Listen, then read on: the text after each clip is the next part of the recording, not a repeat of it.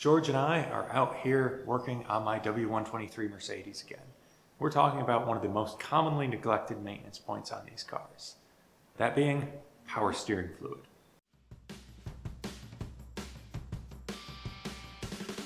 Most of the information that you'll see on changing the power steering fluid on these cars involves either sucking out the reservoir in the pump with like a turkey baster or fluid extractor of some kind, or removing the return line, putting it in a container, starting the car, and then refilling the reservoir as quickly as it's pumped out.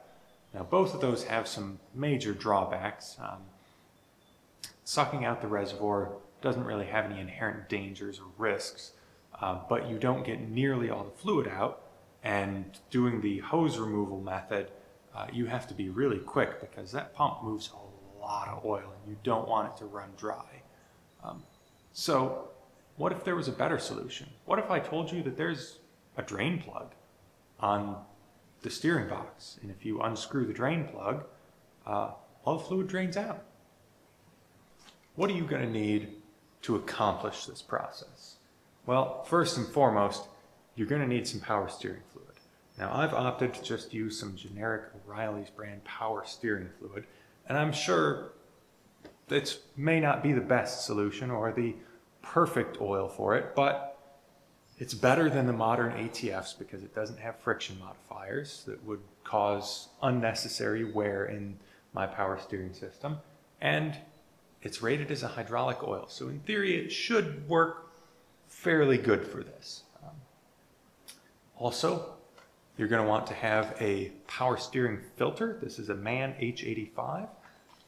You're going to need a 12 millimeter wrench or socket and ratchet, a small screwdriver or needle nose pliers, something to pick the filter up out of the reservoirs. It's kind of down in there a bit, as well as some rags, a jack, jack stands, some lights to work underneath, and a drain pan because we're draining the oil. So, to get started, let me move the camera over here so you can see the power steering pump, and we'll talk about what we're going to do. If you have an OM617 engine, this is going to be the location of your power steering pump, which also doubles as the reservoir. So you're going to want to loosen this wing nut and watch out, this cap is spring loaded. So make sure you hold it so it doesn't go flying. I want to remove the cap, which eh, it's got some nasty grunge on there, as well as this spring. Remove that, set it out of the way. Now we're going to take our little screwdriver. Needle nose pliers could also work for this. Kind of reach down in somewhat near the um, post there and see you can grab that filter up out of there and just kind of tip it on its side and set it back on there so that that can drain down into the reservoir. Now that we've got our old filter drip drying here, we can elevate the car, put it on some jack stands so that we can still turn the wheel back and forth. We're going to turn the steering wheel all the way to the left as far as it will go. Then we're going to crawl under the car and get to the drain bolt on the steering box. So let's have a look at where we're going to go to get to that and then we're going to drain the fluid using our 12 millimeter ratchet and socket, 12 millimeter socket on the ratchet. So let's crawl underneath and take a look at that now. With the car safely on jack stands, the steering wheel turned all the way to the left, we can crawl underneath kind of right where this cardboard is, right under the driver's side fender. Once we get under there, you'll see the pitman arm coming off the steering box, as well as the tie rod on the left and the drag link, which is like the center tie rod on the right. And if you follow that pitman arm up, you'll see here's the steering box where the pitman arm is attached to. Right over to the left of that pitman arm is this little wet plug. It's wet because I unscrewed it to make sure that was indeed the drain plug. Um, so essentially at this point, you're going to want to get your 12 millimeter wrench or socket and ratchet, take it, put it on there, and then immediately throw it into your drain pan. Um, or at least that's what I did. You could choose to loosen the uh, uh, drain plug up if you would prefer that. But uh, once you get that drain plug unscrewed, you'll be able to watch the nasty oil drain out of your steering system. Once it's slowed down to a drip like this, it's pretty much as much as you're going to get out. You could try turning the wheel side to side and you might get a little bit more out, but at this point, I'm going to take the drain plug and put it back in. Now this drain plug, you need to watch, it's hard to see, it has a copper crush washer. So you don't need to put this on crazy tight, but it needs to be tight enough for that crush washer to do its job and seal up the fluid. And at this point, crawl out from under the car and we'll begin refilling from up above. Now we can remove our old filter, which is basically dried out. We'll discard that. We can grab our fresh new filter much cleaner. And we will drop that down in. Now you may need to use your screwdriver in order to get it level so that it will set all the way down in where it's supposed to go. And at this point, I'm going to set my spring in and we'll begin filling with new power steering fluid. So, essentially I'm just going to fill this up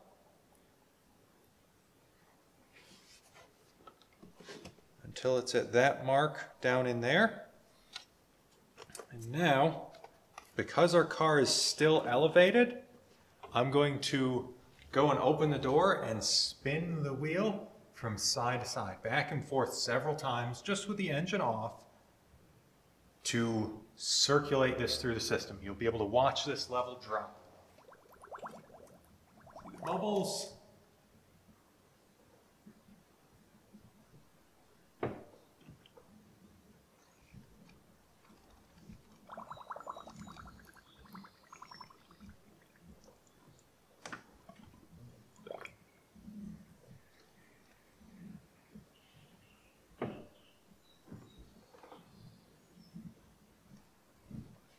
Looks like it's getting kind of low, so I'm going to stop turning the wheel so that I can top this back up.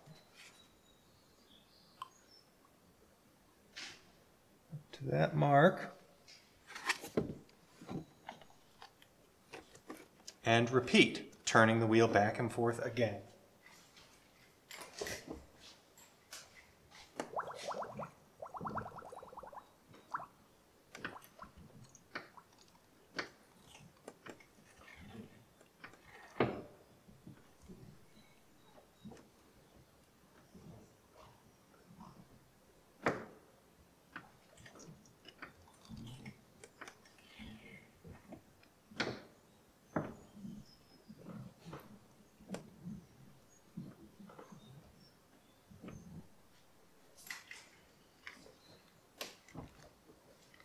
Okay, it's looking pretty good. Now you may notice we're getting a hint of red back in there again.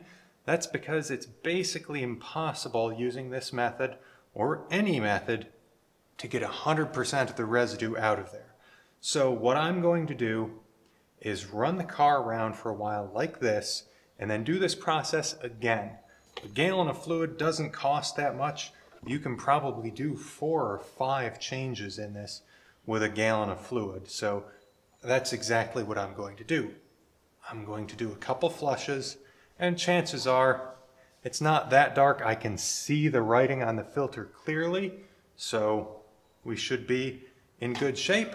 I'm just going to top up my level one last time, right up to that mark. We can start the car and see how our power steering feels.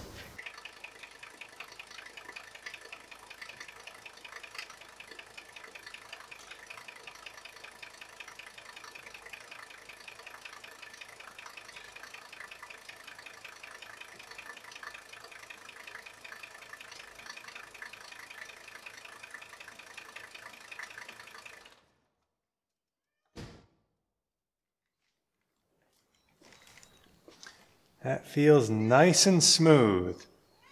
So you can see what I'm saying more now that it's stirred up. It's got a reddish tinge to it, but I can actually see through it. So we'll close this up.